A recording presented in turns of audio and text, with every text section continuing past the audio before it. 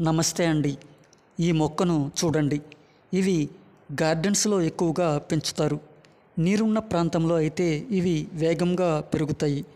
Multi stemmed ఒక పొదల background ప్లాంట్గా ఉంటాయి. పుష్పాలు సువాసన కలిగి లేత నీలం రంగులో ఉండి మొక్కలోని పండ్లు పసుపు నారింజ రంగులో గుత్తులుగా ఉంటాయి. పండ్లు ఏకకాలంలో కనిపించి ఆకర్షణీయంగా ఉంటాయి. తెలుగులో లోకల్ పేరుతో నీలకాంత అని ఆంగ్లంలో దురంతా ఎరెక్టా మరియు గోల్డెన్ డ్యూ డ్రాప్ అని పిలుస్తారు. ఈ మొక్క వర్గీకరణ శాస్త్రం పదిహేనవ శతాబ్దానికి చెందిన ఇటాలియన్ వృక్ష శాస్త్రజ్ఞులు కాస్టోర్ దురాంతే పేరును గౌరవార్థంగా పేరు పెట్టారని చెప్పబడి ఉంది.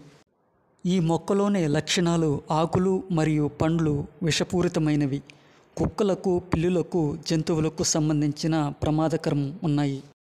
ఈ పండ్లలో ఆల్కలాయిడ్లు ఐసోక్వోనోలిన్ మరియు మోనోటెర్పనిస్ మరియు రెపనిసైడ్లు పిరిడిన్ యొక్క ఉత్పన్నం పరిశోధనలో గుర్తించబడ్డాయని చెప్పడం జరిగింది. అలాగే డి రెఫెన్స్ యొక్క ఆకులు మరియు పండ్లలో సపోనిక్ గ్లైకోసైడ్ మరియు హైడ్రోసియానిక్ ఆమ్లం ఉన్నందున చివరి నమూనాలోని అమైడ్తో పాటు ఆకులు కాండంలోనే దురాంతోసైడ్ కనుగొనబడిందని నిపుణులు చెబుతున్నారు.